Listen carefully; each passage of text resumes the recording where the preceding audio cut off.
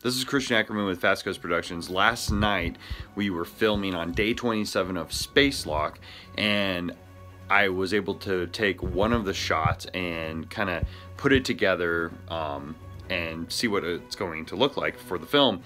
And so here's a little sneak preview of that. And this was shot on green screen, and then um, uh, we filmed James Carter doing his thing. We did some basic makeup. And then this is just what it looks like after color correction and also being placed in the environment on uh, like removing the green screen and putting the proper background and the foreground elements inside to give it that look.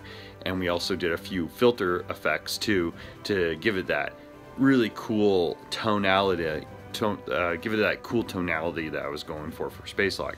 So hopefully I'll be able to show you guys some more things like this. And if you guys want to know how I do this or you want to see that, um, just let me know and I'll put something together that kind of um, will go with the Fast Coast Film Academy and I'll give you guys a little lessons, a little courses on what I do. And all this stuff that you're seeing right here, I did this all in Final Cut Pro. Everything from creating the backgrounds, to all the elements of all that was all put together in Final Cut Pro.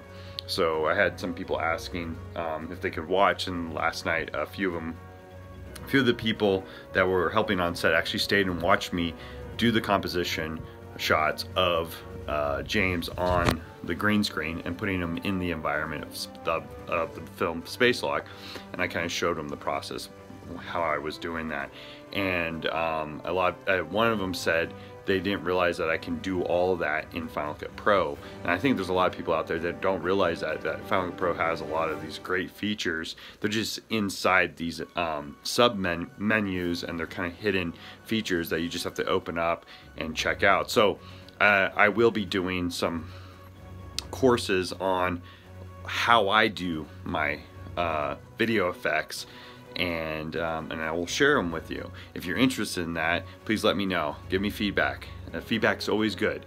Um, and I'll start putting something together like that. I will be putting still the videos out showing what I'm doing, not quite how I'm doing it, but showing you me working in that process of putting it out there. But I can go a little more detail for you guys. So here's what we did with James Carter.